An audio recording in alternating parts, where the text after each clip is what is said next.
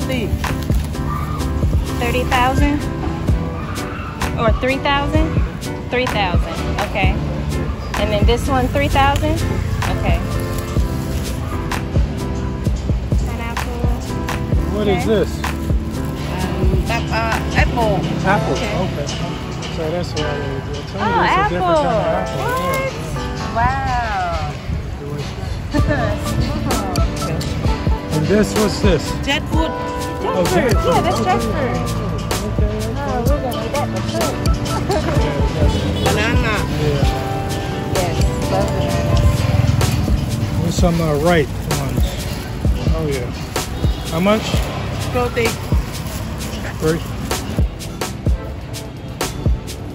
Here's K Market.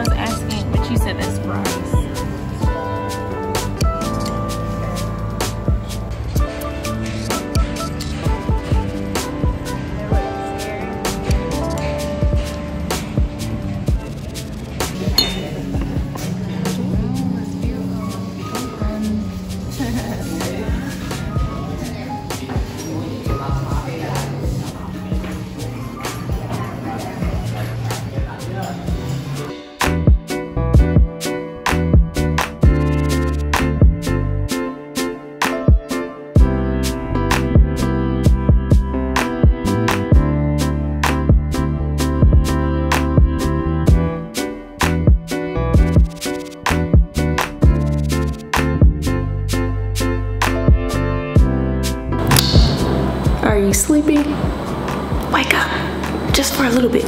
So, how do you sleep at night? Do you count sheep or do you talk to the shepherd?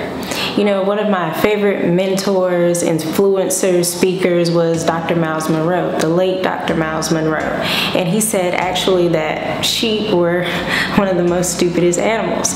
Now, I knew what he meant by this. What he meant by it was that as a sheep, you need a shepherd. Like you need them constantly 24 7.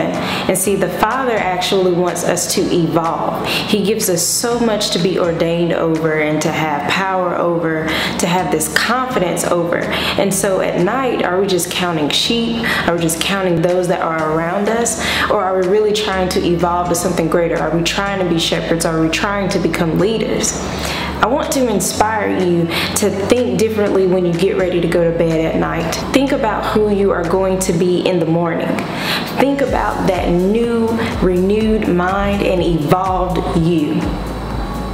When you talk to the shepherd, when you talk to the father, you're essentially talking to yourself because He's inside of you.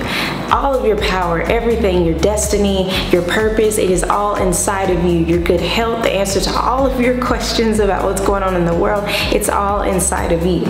And so when you are a shepherd yourself, when you are a leader, when you are no longer trying to be something that just constantly depends and depends and depends and gets lost and, and it's just, no, no, no, no, no. You evolve. You truly capture your inner self that was meant to be out in the first place. So before you go to bed, I beg you, I beg you to think about this. Seriously, don't just count what you have, count what you can have. Count the abilities and the possibilities that you can have. Count the things that you want to go after. Count all of the costs and then talk to the shepherd, talk to the father with the utmost right respect, with this confidence, with this new energy. And I'm telling you, you're gonna see yourself as a leader. You're not stupid, you're not helpless, you are amazing.